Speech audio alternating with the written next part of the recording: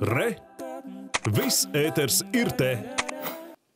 Šogad Maurits salas dabas rezervātam 110. jubileja. Nozīmīgās gadu skaita maiņas parasti ir iespēja kaut brīdi uz salas notiekošajā ieskatīties arī daļai to cilvēku, kam ikdienā tas liekts. Un šogad, jo īpaši būs aicināti profesionāļi, kuri ar zinošām acīm prot paskatīties uz dabas vērtībām. Tikmēr tiem, kam nokļūšana uz Maurits salu joprojām paliek kā nepiepildīts sapnis, vākver, Maurica dārguma lāde, īpaši pašvietējo iniciatīva.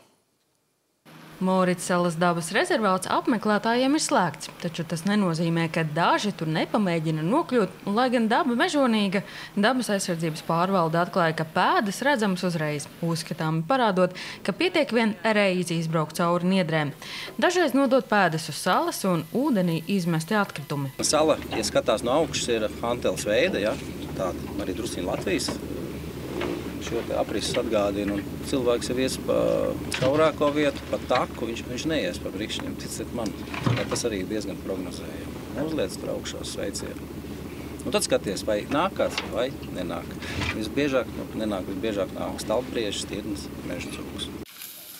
Rēts Čakstīņš gan atzīst, ka likuma pārkāpēju ir ļoti maz. Visbiežāk dabas rezervāta teritorijā strādā dabas aizsardzības pārvaldes darbinieki, tomēr arī viņiem katra nokļūšana uz salas ir īpaša, jo Morits sala ir ļoti mainīga. Ļoti īpaši ir krāsas, gaismas, atkarībā vai pavasarī ierodās, kad lapas tikai plaukst, ir pilnīgi cita krāsa visam ziemā, rudenī, rudenī, kad lapas ir krīt lapas nos, tad ir zeltaina krāsa. Un ir saula vai apmācies, no tā mežā jau ļoti jūt. Morits salas mērķis ir ļaut notikt dabiskiem procesiem bez cilvēku iejaukšanās. 110. jubilejas gadā šeit īpaši tiek aicinātas profesionāļu biedrības. Pirms pāris dienām bija entomologi, tātad bezmugurkalnieku pētnieki bija šeit.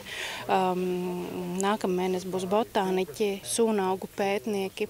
Tā kā, nu, tādi cilvēki, kuriem arī ir jāredz, lai augtu savā profesionālajā izaugsmē. Tikmēr jubilejas gadā starptautiski projekti ietvaros top jauna izglītības programma skolēniem un interaktīva izstāde ar spēlēm, kas ceļos pa visu kurzemi un parādīs dzīvību ezeros. Par putniem kaut vai. Nu, mēs jau tā neaizdomājamies, kas tieši ezeros dzīvo. Liekas, nu, tas pats, kas upēs, bet nu, gluži tā nav. Ir, ir atšķirības un ir atšķirības arī uz salām, tā kā mēs te šodien redzējām.